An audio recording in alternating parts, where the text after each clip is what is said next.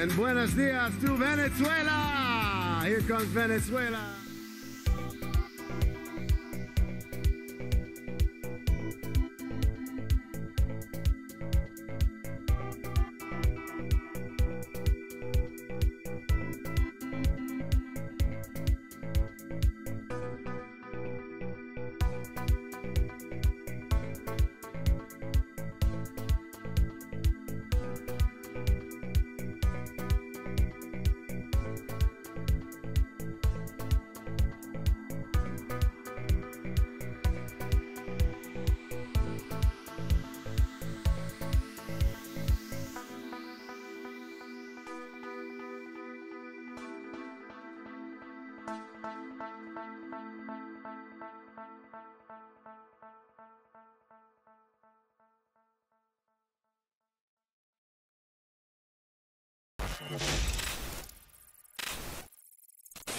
Muy buenas tardes comunidad gaming venezolana, bienvenidos a lo que ya estamos seguros que se ha convertido y se va a convertir en tu programa favorito, Checkpoint, tu mejor ventana para el gaming y los esports. Y por supuesto teníamos que darle inicio a este grandísimo proyecto en este año 2023 porque es el año de los esports y no quiero que suene trillado, ¿no? No queremos que suene trillado, pero tenemos que recordar una de las principales noticias que se han dado a nivel mundial con respecto a los deportes electrónicos y Venezuela también dirá presente porque el Comité Olímpico Internacional confirmó la noticia que tanto esperaban las comunidades gaming y también la venezolana.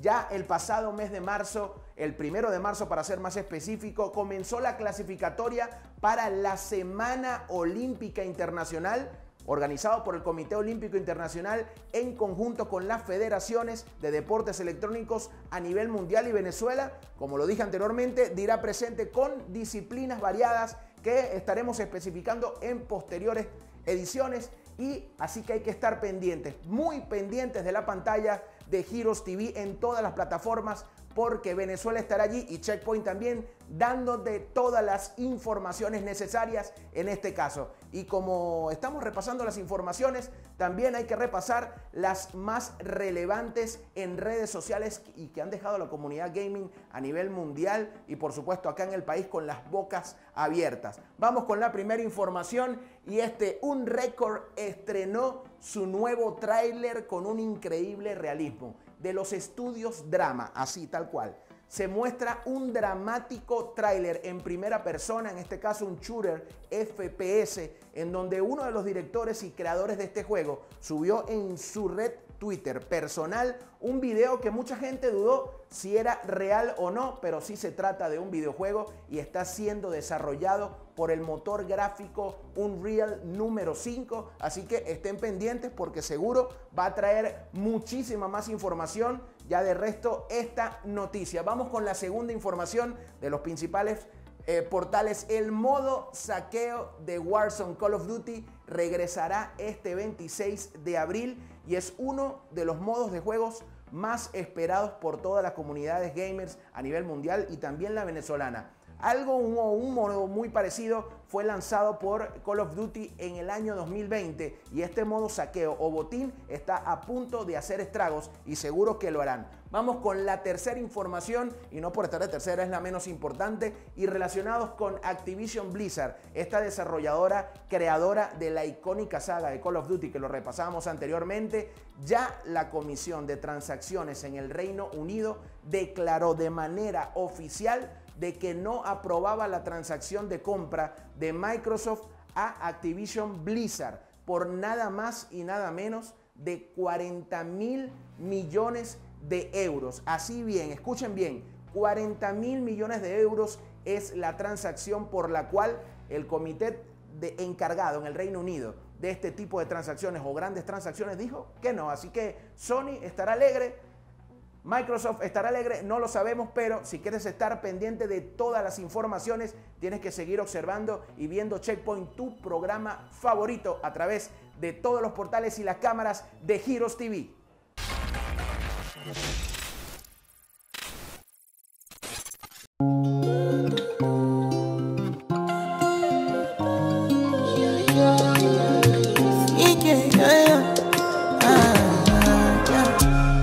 My Valentine. If you me a good time, I like to survive. Todo ha cambiado. Hemos creado una nueva forma de comunicarnos. Hemos cambiado las palabras por imágenes. Hemos descubierto cómo comprar sin estar. Hemos reinventado la forma de conocernos, de enamorarnos, de amarnos.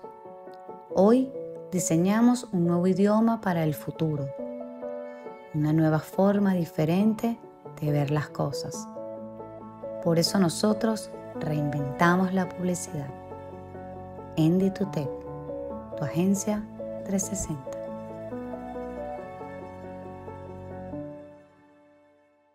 Siéntete a gusto en las cómodas unidades de Benetrans Tours. Camionetas convencionales o blindadas que te brindan el máximo confort y seguridad que necesitas. Es increíble la tranquilidad de contar con un buen servicio de traslados privados que te brinde comodidad, puntualidad, responsabilidad como el de Benetrans Tours.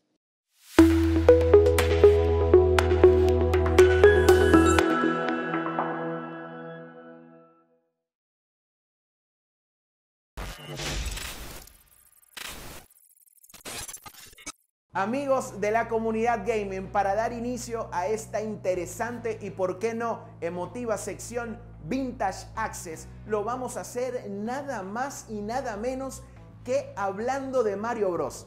Así es, señores, desde sus inicios en el clásico juego de arcade Donkey Kong hasta su última aventura en Super Mario Odyssey, Mario ha sido uno de los personajes más icónicos de la historia de los videojuegos y es que no es difícil enamorarse de este fontanero de baja estatura, con bigote origen italiano y braga azul de trabajo. ¿Verdad que no es difícil?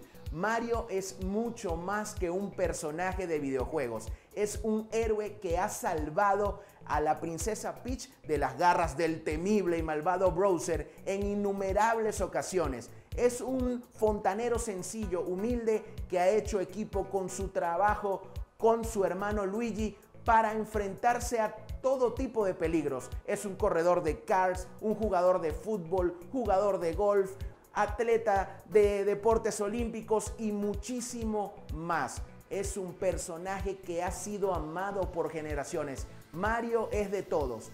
Así que sigue siendo tan popular a más de 30 años de su primera aparición. Así que sujétense los bigotes, salten un poco, reclamen el premio, rescaten a la princesa y prepárense para adentrarse en el mundo de Mario Bros.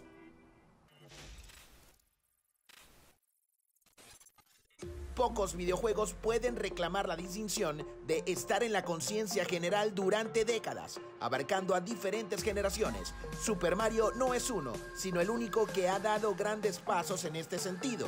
No existe casi nadie en el mundo que no haya oído hablar del fontanero italiano con braga de trabajo que responde al nombre de Mario.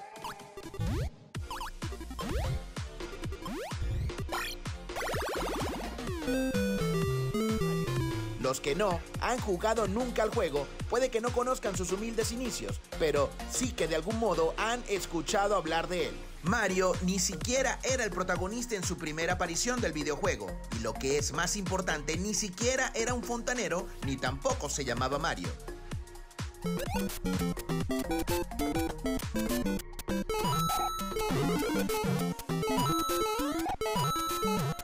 hizo su primera aparición en 1981 en el pionero juego de arcade llamado Donkey Kong. El personaje se llamaba John Man y era un carpintero. En 1985, Nintendo lanzó Super Mario Bros. para su consola de videojuegos Nintendo Entertainment System. El juego fue creado por el diseñador de videojuegos japonés Shigeru Miyamoto, quien también es conocido por la creación de otros videojuegos como The Legend of Zelda y Donkey Kong. Mario ha recorrido un largo camino desde entonces. En las últimas tres décadas ha aparecido en más de 200 videojuegos y también ha sido referencia en cientos de títulos más. Para cuando llegaron los años 90, Mario se convirtió en uno de los personajes más emblemáticos de la historia de los videojuegos. No solo consiguió rescatar a la dama en apuros, sino que se convirtió en la imagen propia de Nintendo. Super Mario Bros. también introdujo muchas innovaciones en la industria de los videojuegos. Fue uno de los primeros en utilizar el desplazamiento lateral, lo que significa que el jugador se mueve de izquierda a derecha en la pantalla. También introdujo el concepto de power-ups, que son objetos que el jugador puede recoger para aumentar sus habilidades, como por ejemplo la habilidad de disparar bolas de fuego. En cuanto a su impacto en la población gamer de la época, Super Mario Bros. fue un gran éxito en todo el mundo y sentó las bases para muchos juegos de plataformas que vendrían después. Además, el juego ayudó a impulsar las ventas de la NES, convirtiéndose en uno de los juegos más vendidos de todos los tiempos.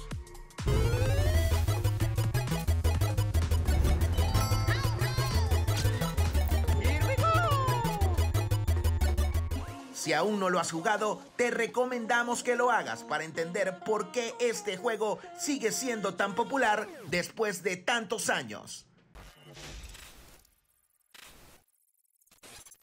Ajá, gamers, ¿y qué les pareció sustancioso e interesante el contenido, verdad? Pues es uno de los objetivos que buscamos con esta sección Vintage Access. La idea es conectarnos con una época, con esos emblemáticos y hermosos videojuegos que a muchos nos hacen recordar y que a muchos de los pasaditos de edad, que en este caso no es el mío, le recuerdan hermosos y gratificantes momentos. Esa es la idea. Ojalá lo hayamos logrado. Para mí, Juancho, es un placer compartir con todos ustedes en esta sección dedicada a Mario Bros. De verdad, espero que haya sido una experiencia interesante, un viaje hermoso y divertido, llena de nostalgia para aquellos que han crecido jugando con este icónico videojuego y una oportunidad para aquellos que todavía no lo han experimentado de sumergirse en el mundo lleno de aventuras y personajes entrañables. Así que siéntense libres de explorar y seguir descubriendo todo lo que este universo de Mario Bros tiene para ofrecer. Vamos a nuestra primera pausa, vamos a recargar la partida y volvemos con mucho más de Checkpoint.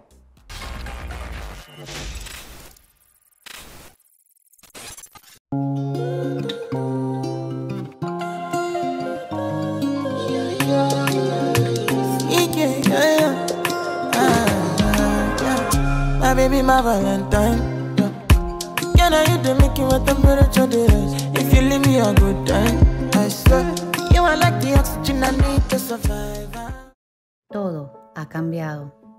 Hemos creado una nueva forma de comunicarnos. Hemos cambiado las palabras por imágenes. Hemos descubierto cómo comprar sin estar. Hemos reinventado la forma de conocernos, de enamorarnos de amarnos.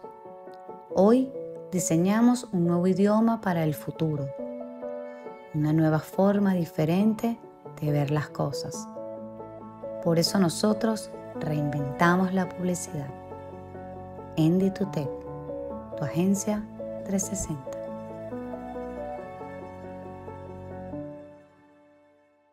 Siéntete a gusto en las cómodas unidades de Benetrans Tours camionetas convencionales o blindadas que te brindan el máximo confort y seguridad que necesitas. Es increíble la tranquilidad de contar con un buen servicio de traslados privados que te brinde comodidad, puntualidad, responsabilidad como el de Benetrans Tours.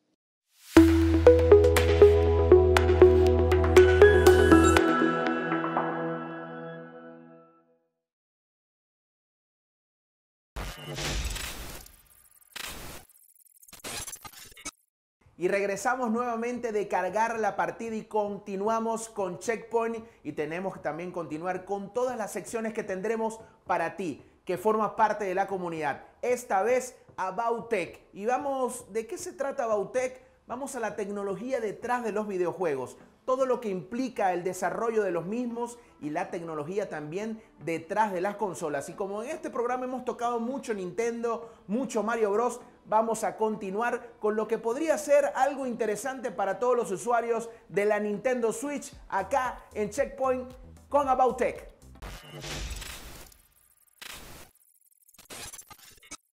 Nintendo es una compañía japonesa fundada en 1889. Inicialmente se dedicaba a fabricar cartas Hanafuda, un juego bastante tradicional. Y no fue hasta 1977 cuando ingresó a la industria de los videojuegos con la consola Color TV Game. Sin embargo, fue en 1983 cuando Nintendo lanzó en el mercado la consola que revolucionó la industria. ¿Quieres saber cuál es? La Nintendo Entertainment System. La NES contaba con un procesador Rico 2A03 a 1.79 MHz, 2 KB de memoria RAM y una memoria ROM de 24 KB. Además de un chip gráfico dedicado que permitía una resolución máxima de 256 a 240 píxeles.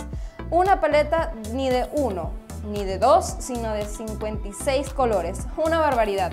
Esta consola fue un éxito rotundo y permitió a Nintendo dominar la industria durante varios años. En cuanto al software, Nintendo ha sido pionera en la creación de franquicias icónicas como Mario, Zelda y Pokémon. Ha sido reconocida por la calidad de su juego. Nintendo ha innovado en la forma de jugar, como se puede ver en la Wii, con sus controles Wii Remote y Nintendo Switch con su diseño híbrido. Para el 2023, la empresa busca personal para desarrollos relacionados con Nintendo Switch 2, una oferta de trabajo de la subsidiaria francesa de Nintendo anticipa que se encuentran en búsqueda activa de empleo para un nuevo sistema de compañía. Hasta yo quisiera trabajar ahí. Y uno de los asuntos más candentes de la actualidad de Nintendo es cuándo llegará la Nintendo Switch 2. Y es que este será el nombre de la sucesora de la consola híbrida que está rompiendo todos los registros. Con el lanzamiento tan cercano de The Legend of Zelda, Tears of the Kingdom, que podría ser el último gran título en lanzarse en exclusiva para el hardware actual. Parece poco probable que conozcamos detalles oficiales al respecto.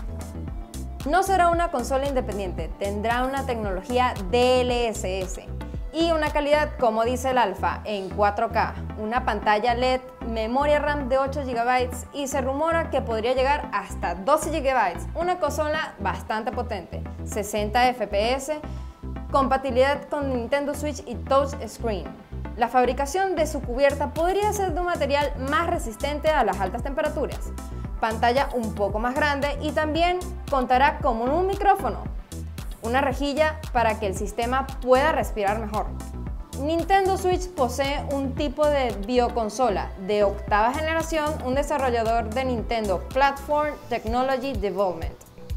Nintendo Switch se transforma para adaptarse a la situación y te permite jugar los títulos que quieras, aunque no tengas mucho tiempo. Es una nueva era y no tienes por qué adaptar tu vida a los videojuegos. Ahora la consola se adapta a tu vida. Coloca la consola en la base de Nintendo Switch para jugar en alta definición en el TV.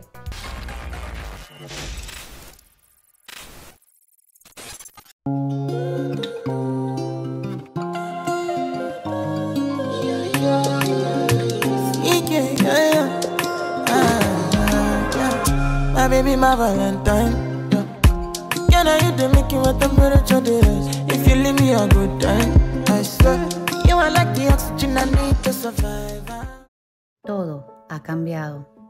Hemos creado una nueva forma de comunicarnos. Hemos cambiado las palabras por imágenes. Hemos descubierto cómo comprar sin estar. Hemos reinventado la forma de conocernos, de enamorarnos de amarnos.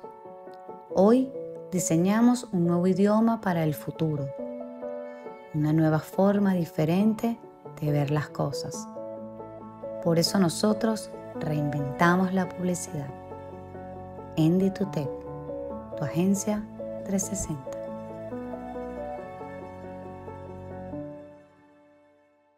Siéntete a gusto en las cómodas unidades de Benetrans Tours camionetas convencionales o blindadas que te brindan el máximo confort y seguridad que necesitas. Es increíble la tranquilidad de contar con un buen servicio de traslados privados que te brinde comodidad, puntualidad, responsabilidad como el de Benetrans Tours.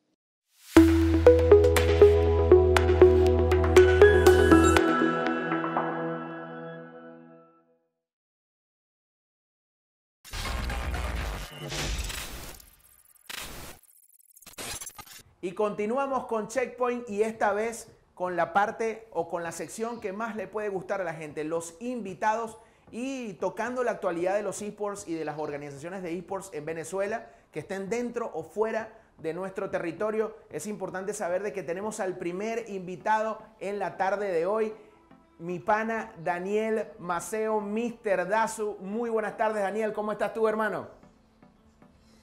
¿Qué tal, Juancho? Aquí, muy bien, muy bien. Bueno, bienvenido. Muchas gracias por la invitación. La verdad, muy agradecido siempre y bueno, qué bueno volvernos a hablar un rato. Claro. Aquí comenzamos eh, esta, más que una entrevista, una conversación, una, una tertulia sobre el gaming y sobre los esports. Pero cuéntanos, o mejor dicho, yo creo que no hay mejor persona para presentarse que, que tú mismo, hermano. ¿Quién es Daniel Maceo? ¿Quién es Mr. Dazu? Bueno, eh, los que no me conocen, como, como lo dijo Juancho, mi nombre es Daniel Maceo. Eh, tengo 34 años y estoy en el mundo gaming, la verdad, desde que tengo memoria, desde los 17 años juego videojuegos, eh, hasta ahorita todavía estoy jugando videojuegos, juego todos los juegos que pueda, la verdad, juego Counter, Dota, Valorant, StarCraft y lo que salga. me, encanta, me parece una forma de distracción bastante sana eh, y bueno, la verdad no, no dejaría de, hacerlo nunca si pudiera y lo podría hacer, claro que sí. Eh, soy Mr. Dazu, como muchos me conocen en las redes sociales y, y en el gaming. soy el dueño de Fusion Esport, una de las organizaciones que ha estado tratando de hacer lo mejor posible, digamos, las cosas para poder dar de qué hablar. Eh, estamos en muchos países del mundo, como lo dijo Juancho, y también en Venezuela, porque bueno, somos, gracias a Dios, el equipo número uno hasta ahorita de la liga en Venezuela, ganamos la VGS hace poco en el top 1 igual, y bueno, también tenemos nuestro equipo en las competiciones internacionales, donde también tenemos a un venezolano en el roster principal, así dándole oportunidades a chicos jóvenes y en nuestro país, porque los tres dueños de Twitch somos venezolanos. Uno de ellos es Joe Chacil, de hecho, un jugador muy reconocido en Venezuela, de los Leones del Caracas. Eso es lo único malo, eso es lo que por ahora, hermano. Yo soy magallanero, gamer bueno, yo, yo, yo, soy gamer y magallanero hasta ah, que salieron los Bravos de Margarita. Desde que salieron los Bravos de Margarita, soy los Bravos de Margarita. Eh, ¿Tú eres de Margarita soy también? Soy margariteño, sí. Bueno, somos paisanos. Ese dato no soy lo sabía. margariteño, nací en Margarita. Yo soy de Margarita también. Yo nací en Margarita. Ah, ok. Ah, mira. Yo soy de Margarita también. Yo nací en Margarita, eso sí, estuve muy poco, pero siempre le, tengo mucho cariño a todos los. De hecho, bueno, tengo, tengo, tatuada la Virgen del Valle aquí, tengo la isla de Margarita también. Hermano, qué importante. Amo mi, mi isla. No, igual, igual que yo. Y bueno, más, que, y gracias por esta gran presentación que has tenido para con nosotros. Y bueno, eh, Checkpoint que quiere tener a los mejores invitados y por supuesto las mejores organizaciones de esports en el país y en Latinoamérica. Pero este caso curioso de cómo fue creado eh, Fusion y cómo comenzó a crecer afuera de Venezuela y luego apostó acá un roster que quería que me contaras algo más de esto. Eh, ¿cómo, ¿Cómo fue eso? ¿Cómo fue ese proceso? Sí, bueno, yo la verdad siempre eh, hemos visto mucho a Venezuela, eh, pero digamos que no, no lo veía tan avanzado en los esports. Eh, cuando comenzamos Fusion, de hecho nosotros comenzamos únicamente en América, en Estados Unidos, y muy poca gente en Colombia, y teníamos muy poquitos venezolanos porque no estaba tan evolucionado el gaming, eso hace ya casi tres años. Este, y bueno, a medida que el tiempo ha, pasado y hemos visto que el eSport en Venezuela también se ha, se ha dado para que uno pues invierta y tener jugadores, pues dijimos, ¿sabes qué? Vamos a buscar entrar y como estamos en Valorant, siendo uno de los mejores equipos de Latinoamérica Norte hasta el sol de hoy, eh, dijimos, si vamos a entrar en Venezuela, vamos a entrar con el equipo número uno de Venezuela, porque eso sí tiene eh, mi socio Joblis, que, que él cuando quiere entrar, quiere entrar con lo mejor. Competidor nato. Buscamos, contactamos con estos chicos, correcto, competidor nato, como siempre. Eh, contactamos con estos chicos que, que, la verdad los cinco son increíbles. Bueno, los seis, hay uno incógnito, pero los cinco chicos que están presentados y, están por ahí siempre, eh, siempre han estado a la disposición, son Alma Fusion, la verdad. Eh, hicimos clip desde siempre y, y, ellos no están aquí, mucha gente cree que es por dinero, nada que ver, la verdad, siempre me dejaron claro que quieren estar en Fusion, por el nombre de Fusion, por lo que representaba estar en Fusion, y bueno, aquí están. Claro, y bueno, Daniel, para darle no, no un final, sino un hasta luego a esta, a esta conversación, más que una entrevista, eh, tu punto de vista con respecto al crecimiento de, de, la industria del gaming y de los esports en Venezuela y por supuesto tus redes sociales para que la gente te siga y siga a lo que es uno de los mejores o de las mejores organizaciones de esports en Latinoamérica y en Venezuela con su roster de Valorant. Eh, o sea, nosotros en Venezuela vemos los esports que están bastante, creciendo bastante rápido. Te lo digo por lo que he visto en general. Eh, me parece que los esports en Venezuela están creciendo muy, muy rápido, están teniendo un impacto bastante bueno. Las marcas todavía no tienen mucho conocimiento del, digamos, del ecosistema y cómo, cómo llevarlo más allá y cómo presentarlo, pero no se preocupen que, que vamos para allá, vamos a mostrarle que los esports es algo en lo que es bueno invertir, es bueno estar y te da muchas posibilidades y muchas cosas.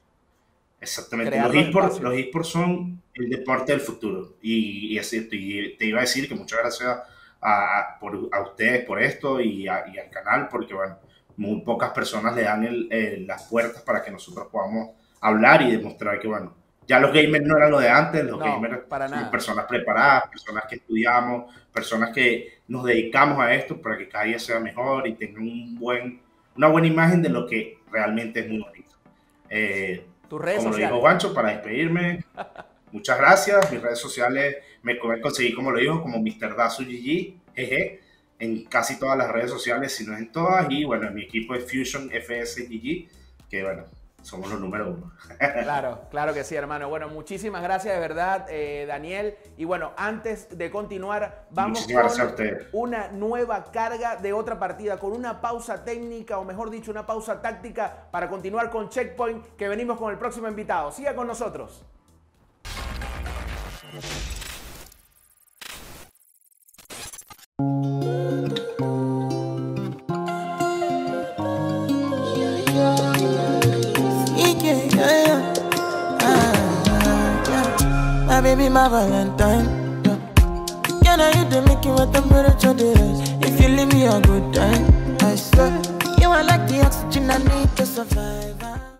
Todo ha cambiado. Hemos creado una nueva forma de comunicarnos. Hemos cambiado las palabras por imágenes. Hemos descubierto cómo comprar sin estar. Hemos reinventado la forma de conocernos, de enamorarnos de amarnos. Hoy diseñamos un nuevo idioma para el futuro, una nueva forma diferente de ver las cosas. Por eso nosotros reinventamos la publicidad. Endy tu agencia 360.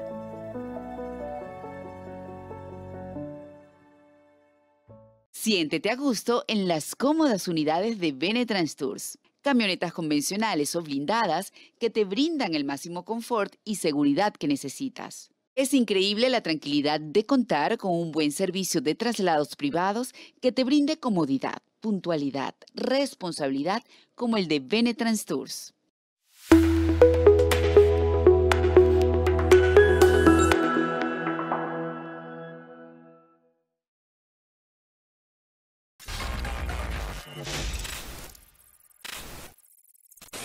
Y volvemos de la segunda carga para esta nueva partida y otra vez venimos y regresamos con otro interesante y espectacular invitado. Tenemos con nosotros al pana Estefano Ignasi, conocido en el mundo de los esports como Estefu, caster y creador de contenido, y aparte vocero de Pro 42, una de las organizaciones más nombradas y más resaltantes en la escena de los esports en Venezuela. ¿Cómo estás, Estefu? ¿Qué tal, mi hermano? ¿Todo bien? Todo bien, todo bien, gracias a Dios. Y bueno, yo creo que no hay mejor persona para presentarse que tú mismo. ¿Quién es Estefano? ¿Quién es Estefano Ignasi? Bueno, Estefano Ignasi es un editor de video, creador de contenido y he trabajado en la parte de producción y vocería con la gente de Pro42. Y cuéntame. Eh, Pro42 es una organización de esports, como tú dijiste, que se ha tratado de involucrar en varios medios de los esports en Venezuela. Y cuéntame, ¿cómo ha sido o cómo fue en un pequeño resumen, hermano, eh, esa, esa génesis de Pro 42 como institución, como organización de esports en Venezuela y hacia qué va? Ok, Pro arranca es más que todo con el deseo de querer comprar skins en League of Legends. ¿Cómo? ¿En serio? Cuando nosotros éramos chamos, y te estoy diciendo hace más de 6, 7 años, salió un jueguito que se llamaba League of Legends. Sí, un y todos nosotros queríamos comprar skins de nuestros personajes favoritos. Y pasó en muchísimas ocasiones que era como complicado explicarle a nuestros papás que queríamos comprarle ropita al, al personaje que usamos en el juego. Ok. Entonces, eh, nos enteramos que existían plataformas que el premio era el dinero del juego. Ok, las monedas propias de cada juego para hacer transacciones durante en, en el juego. Ok. Exacto. Entonces fue en ese momento donde, donde como que se alinearon las cosas. eh, llegaban nuestros amigos que eran diamantes y todo, y empezamos a jugar en grupos de 5 y a ganar torneos. Y nos ganábamos 10 dólares por jugador, 15 dólares por jugador, que era para nosotros una plata absurda. Claro. y comprábamos nuestros skins. Y entonces Pro 42 nació. Inicia, y, y Pro 42, el 42, es porque somos la promo 42 del colegio donde nos, nos graduamos nosotros. In- interesante esos datos, hermano, que me los comentes porque, bueno, me diste tres datos importantísimos de Pro 42. Uno, que se reunieron un grupo de panas a jugar para tratar de conseguir las Ajá. skins. Dos, por el número Sí, mismo. 42 de la, de la promoción de tu colegio. Promoción 42. Y Ajá. tres, que voy a decirlo en este preciso momento, por ahí creo que tienes preparado, es, es que eres tan vicioso, Estefu, de que creo que estás jugando algo, ¿no? Coméntale a la gente que está jugando en este momento. Claro. ¿Cómo no? Mira, que estoy en Q en, en mi rango de máster de, de Pokémon Unite. Excelente. Que es básicamente, es básicamente mi visión más reciente y es de los juegos que más hago creación de contenido en este momento. Pero Pro 42 no está nada más limitado a, la a- a los juegos, a- o sea, no está limitado nada más a la creación de contenido. Hemos jugado varios juegos y tenemos dos rosters de Legends, ¿no? jugadores di- diferentes. League of- League of Legends es uno de ellos, Claro. que, que actualmente cuenta con, con siete jugadores diferentes. Ok. Eh, dos que están afuera y el resto que se encuentran aquí presentes en, en Venezuela. ¿Y cuál es el otro roster? Y adicional. Y el otro roster es de Smash Bros. De Super Smash. Super Smash. Una comunidad Donde- gigantesca en Venezuela. Sí, una de las grandes comunidades de, de Smash dentro de, de- de juegos de pelea en general. Que ha tenido bastante movimiento en los últimos, en, en los últimos años. Sobre todo desde el lanzamiento de Smash 4 en el Wii U, fue donde verdaderamente Smash Venezuela empezó a ser un desastre. Desastre en el sentido de disrumpió absolutamente todo Claro. lo que se esperaba en el mundo de los esports. Hoy- Una, to- una total exactamente. Tenemos tres jugadores. Uno de ellos es, es Alems. El otro es Pro 42 Garu, que es el- Ok. está- se encuentra en el top 3 de Venezuela. Perfecto. Jugador de Falco y de Fox. Y finalmente tenemos a- al señor eh, Styx, que es la más reciente adquisición de Smash aquí en Venezuela para Pro 42.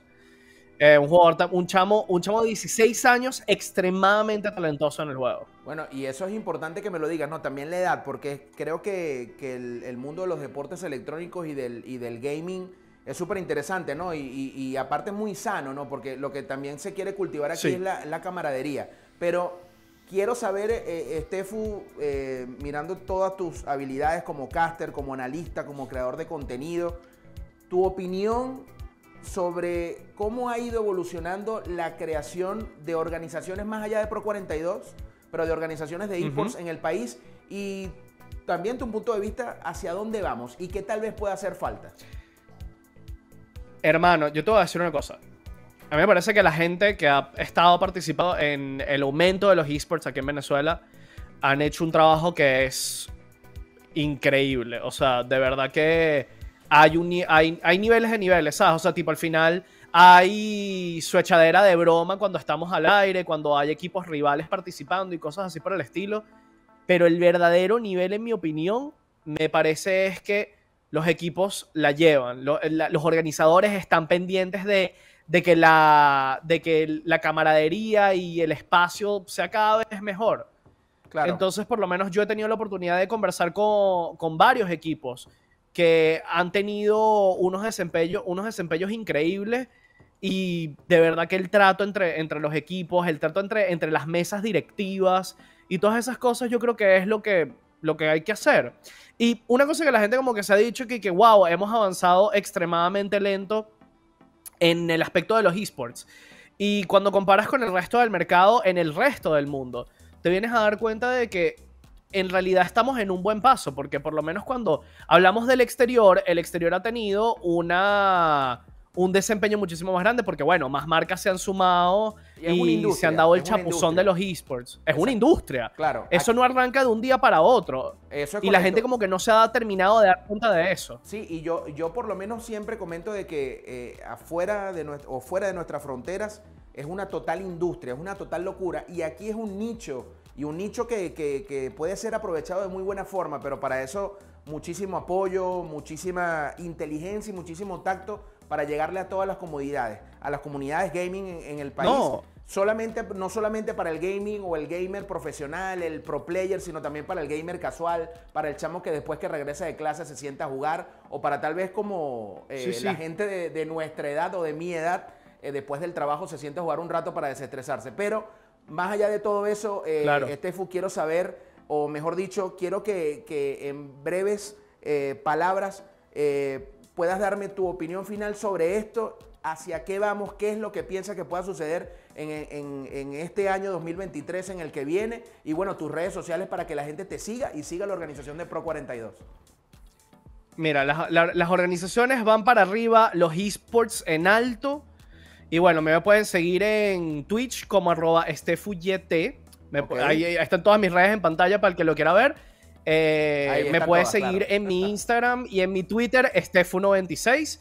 Y de verdad que muchísimas gracias por la, por la oportunidad. Estoy increíblemente agradecido con Checkpoint y contigo, Juan. Juancho, que de verdad que estos son los espacios que hacen falta para hablar de esports, para hablar de lo que nos gusta y para verdaderamente llevar adelante y poner en alto esta, esta, eh, este, este hobby que tanto nos apasiona. No, y no solo eso, y no quiero que suene, puede ser hasta un trabalengua, ¿no? Pero esto, este mundo de los videojuegos dejó de ser un juego, dejó de ser un juego simplemente. Así que, de verdad, Estefu, mira, agradecido enormemente contigo por aceptar la invitación. Esto es lo que queremos hacer con Checkpoint, crear un espacio y no solamente un espacio más, no, el espacio para que los gamers como tú, las organizaciones a las cuales tú representas, se sientan en casa, se sientan tranquilos, se sientan identificados porque, repito, esto dejó de ser un juego y lo que queremos es jugar, lo que queremos es divertirnos sanamente y, ¿por qué no también transmitir lo que quieren transmitir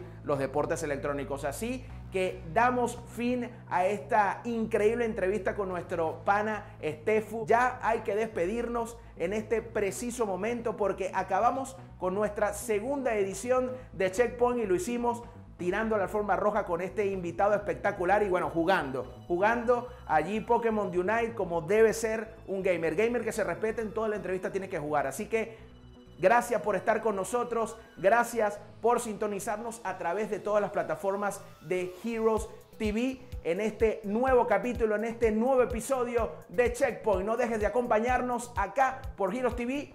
Esto es Checkpoint.